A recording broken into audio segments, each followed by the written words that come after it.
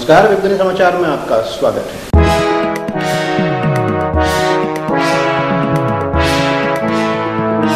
पाकिस्तान को घोषित करो आतंकवाद का प्रायोजक देश, अमेरिकी संसद में उठी मांग कुख्यात आतंकवादी हाफिज मोहम्मद सईद और मसूद अजहर को समर्थन देने वाले पाकिस्तान के लिए अमेरिका से बुरी खबर है। दरअसल अमेरिकी संसद में मांग उठी है कि पाकिस्तान को आतंकवाद का प्रायोजक देश घोषित किया जाना चाहिए।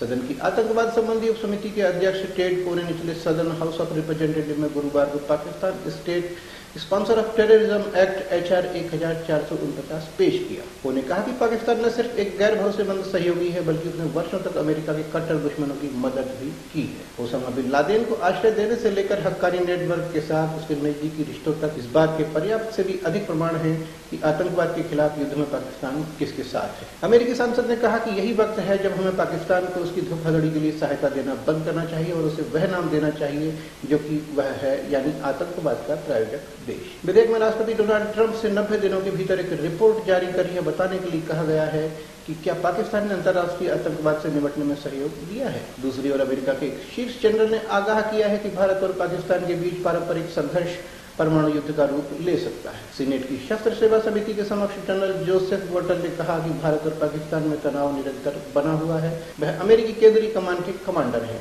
वोटल ने कहा कि पाकिस्तान आधारित आतंकी समूहों के खिलाफ कार्रवाई के अभाव के चलते भारत चिंतित बना हुआ है और इस साल की शुरुआत में उसने अपने यहाँ हुए आतंकी हमले का जवाब भी दिया है। उन्होंने कहा कि हमारा आकलन है कि इस तरह के हमले और संभावित प्रतिक्रिया बढ़ने की आशंका है।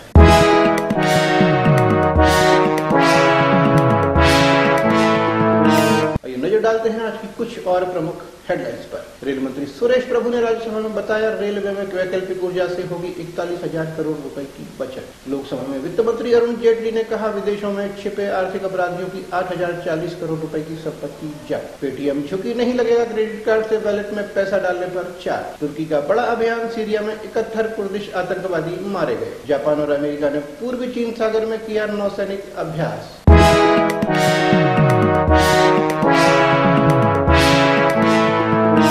इस अब तक के मुख्य समाचार और ज़्यादा जानकारी के लिए लॉग इन कीजिए हमारी website W W W dot नमस्कार।